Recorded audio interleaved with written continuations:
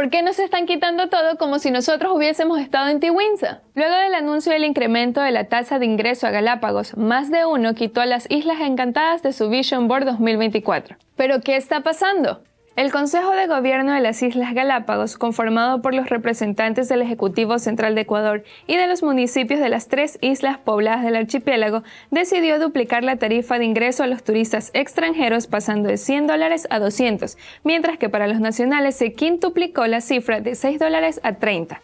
Esta tasa de ingreso, que no se había modificado en los últimos 26 años, entrará en vigor en seis meses. Y para actualizarla se consideraron factores como tiempo de permanencia, edad, condición de discapacidad, modelo turístico, nacionalidad o residencia legal en el país. ¿De dónde surge esta decisión?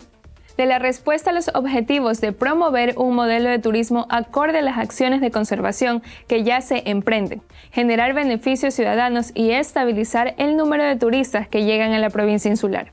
De acuerdo con el informe de conservación de las propiedades inscritas en la lista de Patrimonio Mundial de la UNESCO, es prioritario estabilizar el crecimiento del volumen de turismo para mantener el bienestar tanto del ecosistema como de los habitantes de Galápagos. Este 26 de febrero, en una entrevista, el ministro Niels Olsen dio a conocer que este incremento es necesario porque el turismo masivo está afectando Galápagos. Vemos lugares turísticos con mucha saturación y que está generando un impacto negativo a través de la introducción de más especies invasoras, desabastecimiento de víveres, entre otros. Y mencionó que a través de esta tasa se recaudan entre 14 y 18 millones de dólares anuales. Con el incremento, en 2025 podrá llegar a 40 millones de dólares. ¿Y tú, te subirías al avión hacia Galápagos? Soy Marcia Urbina y esto es La Defensa, donde defendemos la verdad con periodismo.